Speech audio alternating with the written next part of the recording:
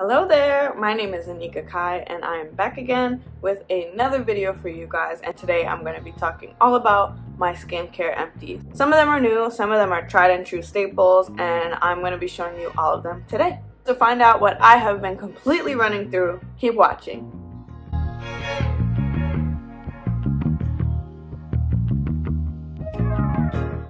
As a makeup artist and a makeup wearer, I need something that's going to remove my makeup, not strip my skin, and be fragrance free. So two that I've found that I completely finished and would absolutely repurchase again are the Glossier Milky Jelly Cleanser and the Aloe Enzyme Facial Cleanser. These two I love dearly. I use them to double cleanse. I'll start with the jelly cleanser and finish with the enzyme cleanser. Neither of them strip my skin of its natural barrier and they do a great job at removing makeup.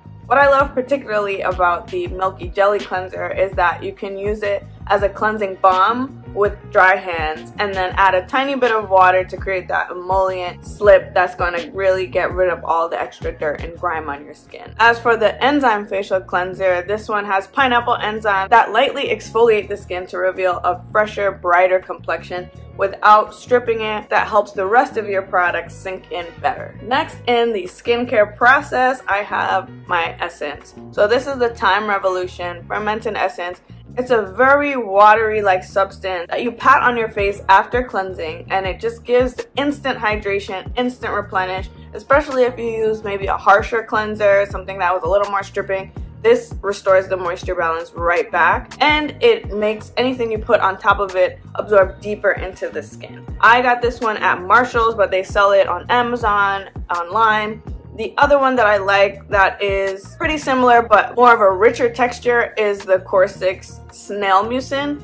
I use these interchangeably. In the summer, I prefer this one because it's a little more lightweight, and in the winter, I grab the Snail Mucin. I threw away that bottle of the Snail Mucin, but that one was also empty, and I've repurchased several times. Truthfully, I don't know where I would be without salicylic acid. My skin is easily congested, my pores are super tight, wearing makeup, if I don't cleanse it off properly, instant breakout. This has saved me. On a day where I'm wearing makeup, I cleanse my skin, double cleanse, and then I use this toner. I use a bit of this on a cotton round and just slightly exfoliate my skin, gets rid of any lingering makeup, dirt, grime, sweat, and gives your pores a fresh start. It's almost like a bulldozer. It goes through the pores and just gets everything out. It can be a little bit drying, so if you are starting out with, I would use it maybe once a day at night. As your skin builds up that tolerance, you can use it twice a day. I really made this video to talk about this one single product. This is Namesake's moisturizer. It's an daily moisturizer with enzymes in it that gently exfoliate the skin. Beautiful under makeup. If your skin is dry, tight, textured, this in one application is to change the game for you. This moisturizer was formulated by a mother-daughter duo, dermatologist tested. It works on every type of skin. Very lightweight, but also deeply moisturizing. It's formulated with melanin skin in mind, and it is truly a magic hero product. I recommend this to everyone for everything. I ran through this so fast. This, I had in my kit. I'm obsessed with this product completely empty, nothing left.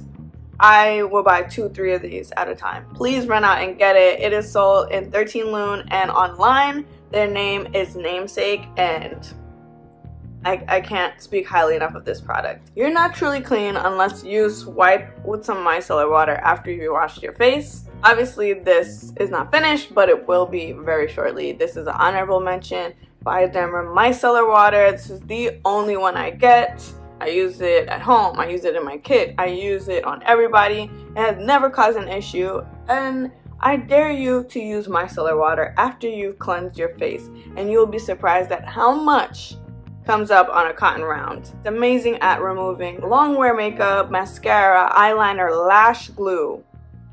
This is just a must have. I use it sometimes too when I don't want to wash my face with a soap, but I do want to cleanse it. So after I wake up in the morning, a little bit of this on a cotton round is all you need. It was developed for people in places with really hard water, water that you wouldn't want to use on your skin or on your face. You don't need to rinse after it. Although sometimes I do I just want to feel that freshness of water on my face but this removes face and eye makeup. If you ever have to clean up any eyeliner it's great on a q-tip. It's just one of those things that once you have it you'll never want to be without it. Thanks again for watching. I appreciate you coming back to my channel.